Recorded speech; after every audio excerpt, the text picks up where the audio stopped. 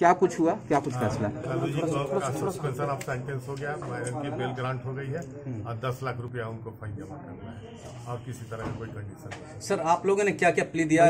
CBI ने क्या कहा था हम लोग ने हाफ़ सेंटेंस का प्ली जो प्रीवियस केस में लिया था वही प्ली इस केस में भी लिया था। और टोटल करीब बयालीस महीना हमारा हो गया था इस केस में कस्टडी पीरियड उसको कंसीडर करते हुए कोर्ट ने बेल ग्रांट किया। सीबीआई ने भी कुछ सीबीआई ने उसको अपोज किया कि आधा सेंटेंस नहीं हुआ है।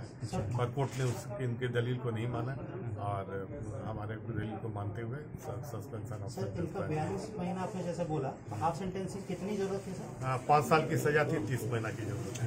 बयालीस सर अब कब तक उम्मीद की जा सकती है कि लालू प्रसाद यादव बाहर रहेंगे?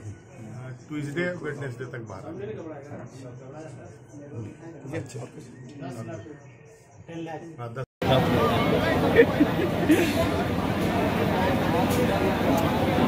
ये जनता दल को काफ़ी खुशी है। वैसे तो उनको न्याय पहले मिलना चाहिए था, मगर सीबीआई के कारण लेट हुई।